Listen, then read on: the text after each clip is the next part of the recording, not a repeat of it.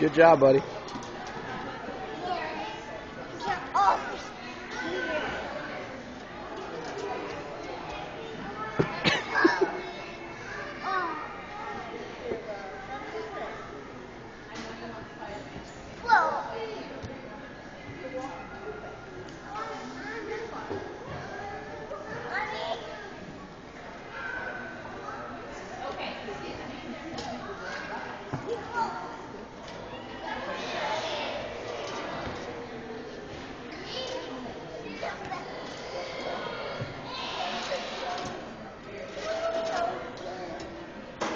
Here's Talbot jumping at new heights.